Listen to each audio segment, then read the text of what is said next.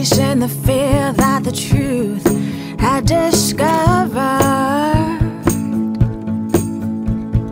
No telling how.